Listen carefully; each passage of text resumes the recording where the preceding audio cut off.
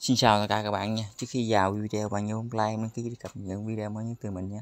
Tiếp tục video này mình giới thiệu cho bạn tham gia một chương trình để góp nhận 15 tóc cần Flan đến từ sàn Flan Swap nè bạn.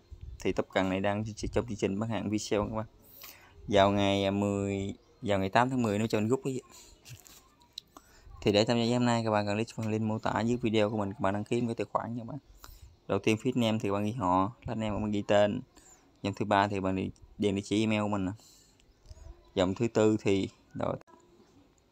Dòng thứ tư thì các bạn tự đặt mật khẩu các bạn. Và dòng thứ năm các bạn xác nhận là mật khẩu rồi sau đó các bạn bấm vào register.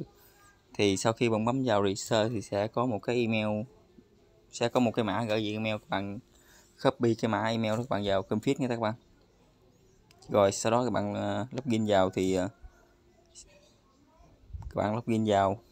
Rồi bạn bấm vào một ba canh cùng nè các bạn nhấp vào wallet nè.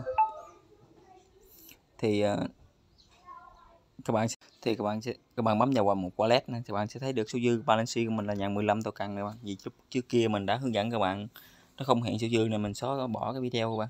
Nay mình mới thấy hiện tại mình login cho mình thấy số dư thì mình mới làm một cái video cho tất cả các bạn rồi còn về KIC thì các bạn à, muốn cài KIC bây giờ hoặc là có thể để sau này cũng được các bạn.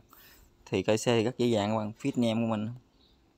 Đây thì ngày tháng năm sinh này địa chỉ address cho mình này thì con chi là quốc gia của mình đây thì con này chạy trên nền tảng của ADA Canano các bạn. Thì các bạn tại các bạn điền địa chỉ của với Google của mình mình có hướng dẫn các bạn tạo dí rồi đó.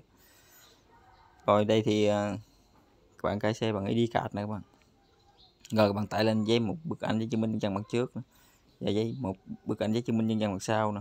Và một tờ giấy có cầm ghi chữ plan swap, rồi tên của bạn, rồi email và ngày tháng năm sinh nha các bạn rồi, gì là xong?